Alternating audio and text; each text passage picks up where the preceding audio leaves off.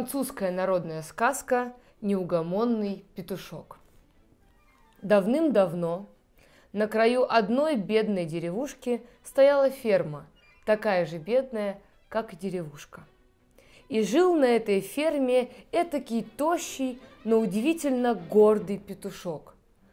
Тощий он был, потому что не всякий день приходилось ему зоб набивать, ну а гордый – это уж от характера. Редко, очень редко удавалось ему проскочить в хозяйский сад и полакомиться там гусеницами, червями, улитками или просто зеленой травкой. Но едва замечала его в саду хозяйка, как гнала прочь. И возвращался тогда петушок снова во двор, обиженный, но не смирившийся. Однако и во дворе у него была отрада – большая навозная куча – в которой отыскивал он для себя пропитание. Ну что же вы хотите? Кормиться-то ему приходилось самому. Вот и топтался он целыми днями на этой куче. Разгребал, раскапывал, отыскивая, чего бы поклевать. Как-то раз копался петушок в куче и нашел вдруг под прелыми листьями туго набитый кошелек. Смекнул он в раз – что кошелек этот – целое богатство. И, позабыв обо всем на свете, даже о голоде, тут же кинулся пересчитывать золотые ЭКЮ. Оказалось, в кошельке ровно сто монет. Не помня себя от радости, выгнул он горделиво грудь, загорланил на всю деревню и побежал со всех ног оповестить деревенских петухов и кур о привалившем ему счастье. А в эту самую минуту проезжал по дороге король со свитою. Услыхал он звонко заливистое пение петушка и спросил, что там приключилось. Рассказали ему слуги об удачливом петушке и о ста золотых экю. Призадумался король, как бы их выудить, ведь был он в долгах, как в шелках – Поразмыслив, подозвал он к себе петушка, да и говорит. «Послушай, приятель, одолжи мне свои сто ЭКЮ. Верну их тебе ровно через три месяца». «С радостью, Ваше Величество!» – расшаркался петушок. «Только проценты заплатите?» «Ну какой может быть разговор? Получишь в назначенное время и деньги, и проценты». «Даю тебе свое королевское слово», – уверил петушка король и, забрав сто золотых икю, покатил дальше в свой королевский замок. Ну а петушок вернулся во двор к своей навозной куче. Прошло три месяца. Копается петушок по-прежнему в унылой куче, оглашает всю округу своим кукареку и все ждет не дождется короля-должника – а от короля, как нарочно, ни слуху, ни духу. Должно быть, не до меня ему сейчас, размышляет петушок. Дел-то у него хватает. Погожу немножко, мне пока не к спеху. Но когда минуло четыре месяца, а король все не подавал о себе вестей, забеспокоился петушок. Взял лист бумаги, выдернул самое хорошее перо из хвоста – зачинил его и написал королю письмо. «Кукареку! Кукареку! Верни, король, долг петуху!» Пробежали дни, промелькнули недели, а ответа от короля все нет и нет. Написал петушок еще одно письмо. И еще, да только напрасно он старался. Молчит король, молчат и его придворные. И вот однажды утром взлетел наш неугомонный петушок на забор и, важно, заявил во всеуслышание. «Отправляюсь я к королю за своими кровными денежками. Должен король вернуть их мне, да еще с процентами. На то дал он мне свое королевское слово». Вычистил петушок перышки, прополоскал в луже клюв, соскреб грязь со шпор – мешок за спину закинул и двинулся прямиком к королевскому замку. Повстречал его по дороге волк и спрашивает. «Куда это ты, кум, идешь ни свет ни заря?» «Известно куда. Иду я к королю за своими сто экю». «Может, ты меня прихватишь? Дорога-то у тебя длинная, а я составлю тебе компанию». «Что ж, я не прочь. Вдвоем веселей. Садись ко мне в мешок». Влез волк в мешок, и двинулся петушок дальше. Вдруг попадается ему навстречу лисица. «Здравствуй, петушок! Куда это ты с позаранку отправился?» «Здравствуй, кумушка лиса! Иду я к королю за своими сто экю!» «Ой, как интересно!» – заскулила лиса. «Счастливый ты, петушок, самого короля увидишь, а вот мне, видать, его не доводилось. Взял бы и меня с собой, дружочек, хоть полюбуюсь на его королевское величество.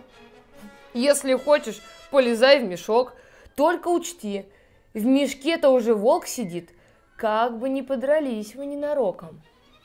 Да что ты, дружочек, мы же с волком старые друзья-приятели, делить нам нечего. Пошел петушок дальше. Идет себе, песни распевает, да покряхтывает. Как-никак волк и лиса, ноша нелегкая. Вдруг слышит «Карр! Карр! Куда это ты путь держишь, петушок?» Взглянул петушок наверх и увидел на ветке вяза старого ворона. Ну как ему не ответить, коли собрат он по пернатому царству? И говорит петушок, да вот иду я к королю за своими сто экю. Карр! «Королю!» – прокаркал ворон. «Возьми и меня с собой. Может, я тебе там пригожусь.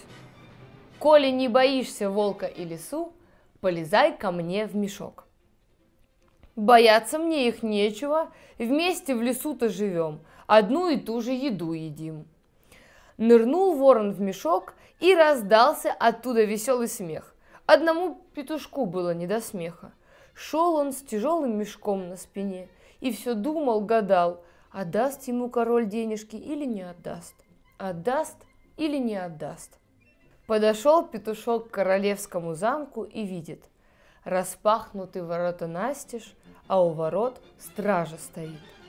Выпятил петушок грудь, задрал вверх голову и прошагал важно мимо стражников – ну, а тем и невдомек расспросить его, зачем да почему идет он к королю.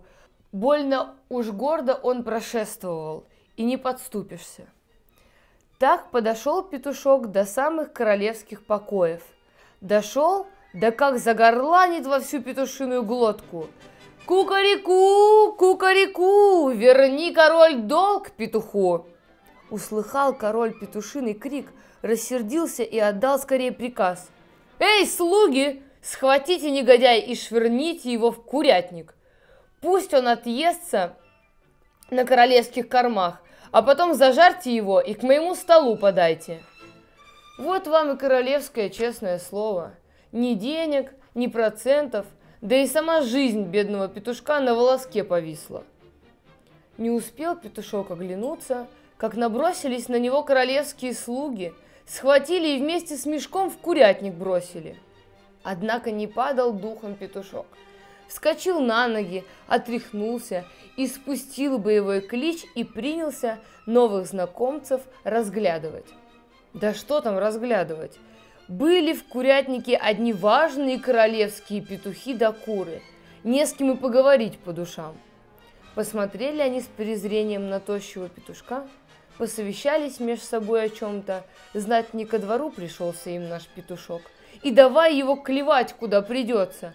Света белого бедняга не взвидел. Терпел он, терпел, а когда пришел конец его терпению, громко позвал. «Лиса, кумушка, кума, вылезай-ка из мешка!» Выскочила из мешка лиса, зубы у нее клацают, глаза голодным блеском светятся – Увидели петухи и куры страшную лесу и в миг разбежались кто куда. Поутру открыли слуги курятник и ахнули. В курятнике никого, кроме тощего петушка. Побежали они во дворец, рассказали королю про новость диковинную, а тот в ответ. «Ах, негодник, петух! Бросьте его тут же в мою овчарню!» Поспешили слуги королевский приказ выполнить. Схватили петушка и швырнули в овчарню. Увидали овцы петушка, рассердились, копытами застучали, совсем затолкали беднягу. Решил петушок, что пришел его смертный час, и с отчаяния крикнул «Кукареку! Кукареку! Помоги, серый, другу, петуху!» Выскочил из мешка волк, встряхнулся и принялся за дело. В миг всех овец распугал. Со страху вышибли они лбами ворота и разбежались кто куда. Рано утром король сам поспешил в овчарню. Видит, ворота настежь распахнуты, а в овчарне ни единой овцы. От злости плюнул король на землю, а петушок снова ему кричит «Кукареку, кукареку, верни долг петуху!» В конец рассверепел король и приказал «Эй, слуги, ощиплите петуха до единого перышка!» Тут уж не до шуток петушку стало. Взлетел он на самую высокую перекладину и закричал «Кукареку! Кукареку! Помоги, ворон, петуху!» Не заставил ворон себя долго ждать. Вылетел из мешка, взмахнул крыльями и опустился на королевскую макушку. Того и гляди, клюнет короля прямо в темечко. Испугался король и давай просить «Не трогай меня, мошенник!» «Ах, это я, мошенник! Карр!» – раствердился ворон. «Отдавай петуху сто золотых экю!» И тюк короля в макушку.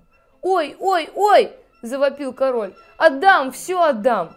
И велел своему казначею тут же отсчитать петушку сто золотых экю. Получил петушок сто экю и от радости даже про проценты забыл, ведь и так бывает. Пропел петушок свое кукареку, зажал в клюве кошелек с монетами и прошел через ворота замка впереди своих друзей-помощников. Когда же оказались все они на дороге, ворон вдруг и говорит «Карр! Послушай, приятель, не мешало бы тебе и нас вознаградить, а потому дай мне за верную мою службу 10 экю». Однако не услыхал его почему-то петушок, шел себе вперед, а на ворона даже не обернулся. Посмотрел ворон на петушка еще раз, усмехнулся про себя и прочь улетел. Вы, конечно, недовольны, ведь обидел петушок ворона, и лисицу, и волка обидел. Эх, да что там говорить, вы совершенно правы. Но скажите по совести, разве справедливость такая уж частая наша гостья? И вот что еще интересно. А как бы вы сами поступили на его месте?